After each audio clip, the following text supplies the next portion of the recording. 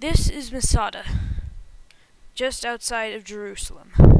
In 73 through 74 AD, the Romans built this ramp to scale the walls of Masada.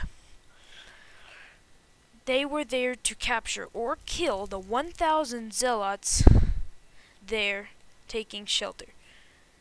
The leader of the Romans was Titus, and the leader of the zealots was Eleazar bin Yair, who I think was the person God was with during this battle.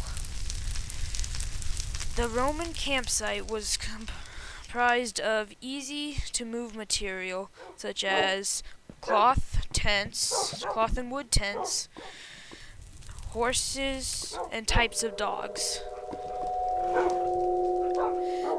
In the end, when the Romans got to the top, they had seen that the 1,000 people there had been killed or they were really did they were suicide.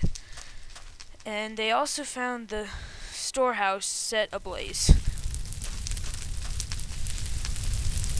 And that was the Battle of Masada.